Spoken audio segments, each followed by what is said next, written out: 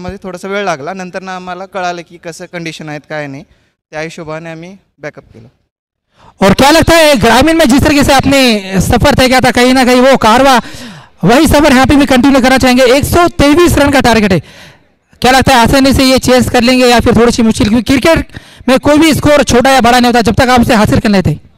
नहीं हम हमारी टीम अच्छी है। आसानी से चेस होना चाहिए और कर लेंगे हम चेस और एक आखिरी सवाल ऑर्गेनाइजिंग कमेटी के बारे में क्या कहना चाहिए क्योंकि इतना बड़ा मंच आपके लिए कहीं ना कहीं दिया है जिस तरीके से ग्रामीण आजकल क्रिकेट टेनिस बॉल का जहाँ तक सवाल है जिस तरीके से इंडिया लेवल तक जाकर जो खिलाड़ी जिन्हें ज़्यादा मौका मिलता नहीं इतने बड़े मंच पर आकर खेलने का।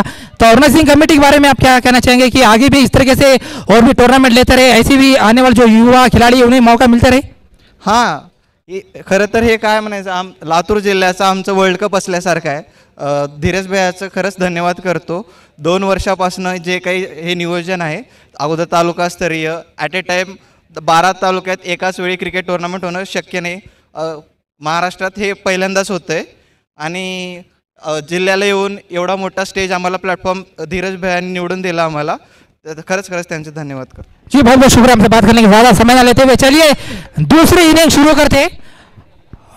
एक सौ तेईस रन का टारगेट है। तीन ओवर का पावर प्ले मैक्सिमम एक गेंदबाज दो ओवर डाल सकते हैं। तो चलिए ओपनिंग बैट्समैन आ जाए जल्द से जल्द।